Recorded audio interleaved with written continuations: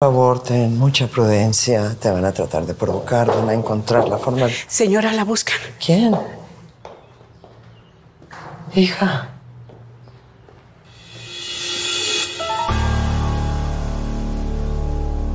¿Qué es esto? El actuario se va a encargar de explicarte. Venimos a ejecutar una orden de desalojo, señora.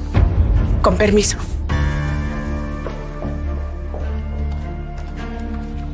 Se nota que es hobby de Rafael tratar de destruirme, ¿no?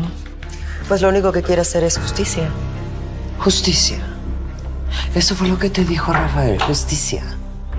¿Por qué no te cuenta que me quería arrebatar mi club, ese lugar que tanto desprecias? Ahora me vienes a hablar a mí de justicia. Mira, no vengo a hablar de Rafael. Vengo a cumplir la última voluntad de la madre de Casilda. Porque todo esto le pertenece a ella. No me digas la última voluntad. Enséñame el papelito con su última voluntad. La que creó todo esto fui yo. ¿O qué crees que todos estos años estaba sentada? ¿Limándome las uñas? No, señor. Yo he creado esta fortuna. Esto es mío. Se equivoca, señora. El juez ha ordenado que se adjudiquen los bienes de acuerdo con el testamento y que las cuentas bancarias queden congeladas hasta que se determine lo que pertenece a cada persona. ¿Está bien? ¿Qué es lo que quieres para tu madre? ¿Me vas a volver a mandar a trabajar a las calles? Pues tú te lo ganaste. Manipulando. Haciéndole tanto daño a tanta gente. Y tú lo gozas, ¿verdad?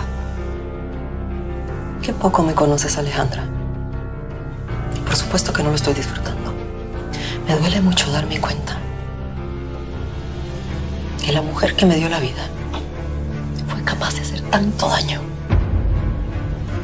La señora tiene que desalojar la propiedad hoy mismo. No tengo a dónde ir. Te puedes quedar aquí, en la casa de Casilda.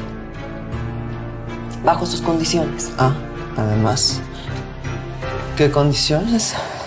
En su momento te darás cuenta si es que decides hacerlo. De ser así, la señora Madrigal debe firmar la notificación.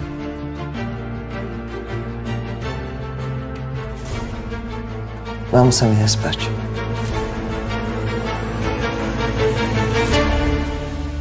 Espérenos afuera.